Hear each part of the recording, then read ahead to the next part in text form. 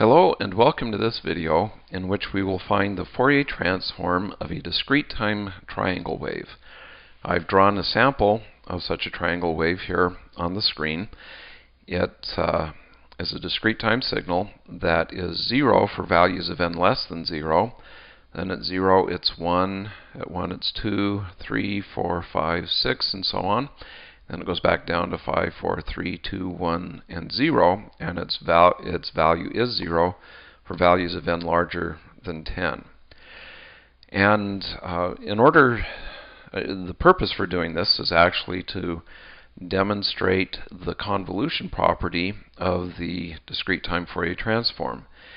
And so we'll compute the Fourier transform of this triangle wave without actually computing any Fourier transforms directly. We'll use the properties of the Fourier transform and uh, Fourier transform, a Fourier transform that's been computed in a previous video. So if I look at um, the signals that I have, uh, x of n is the triangle wave, and it turns out that I can get x of n by taking r of n, which is a rectangular signal. It uh, is 0 for values of n less than 0 and 0 for values of n greater than 5.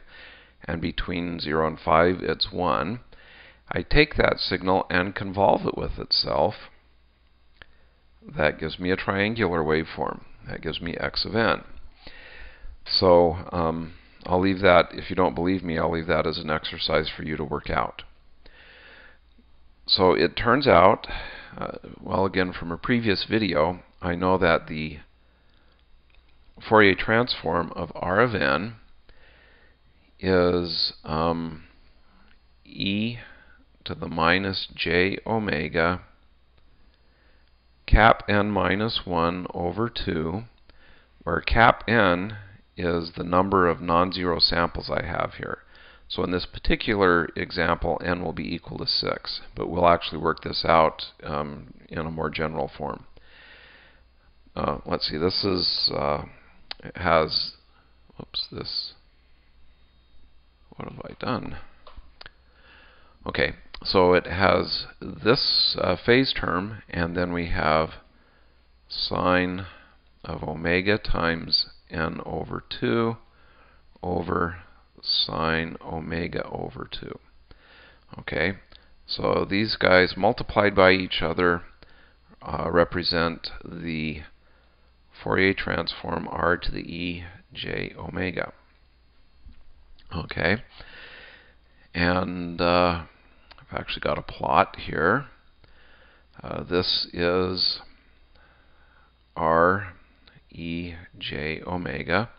This is the magnitude on the top, and it's plotted between 0 and 2 pi. So this is 0, this is 2 pi.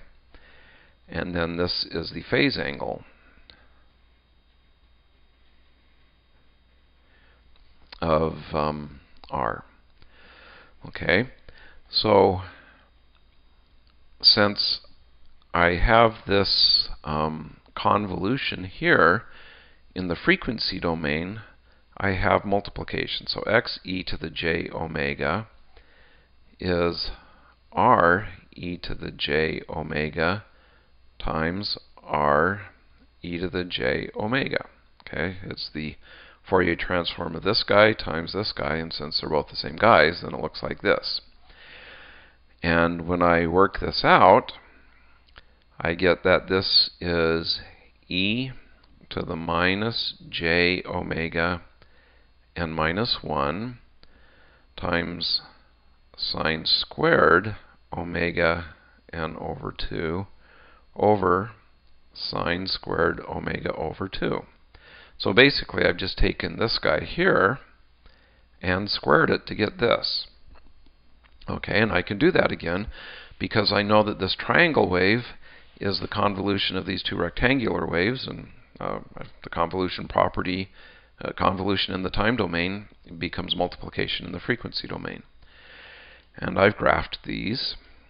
Uh, so this is um, the magnitude of x e to the j omega.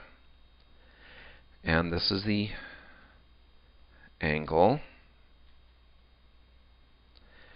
And you can see that um, I have more, I have a much larger uh, portion of the magnitude uh, close to a value of pi, or I'm sorry, of 0 and 2 pi. This is 2 pi out here. And um, that's about it. I'm not sure what else to say about this other than uh, that's the way it looks. So um, that actually concludes this video. Uh, again, the purpose was to demonstrate uh, that convolutions in the time domain turn into products in the frequency domain and to do an example where this was the case. So hopefully you found this useful and thanks for watching.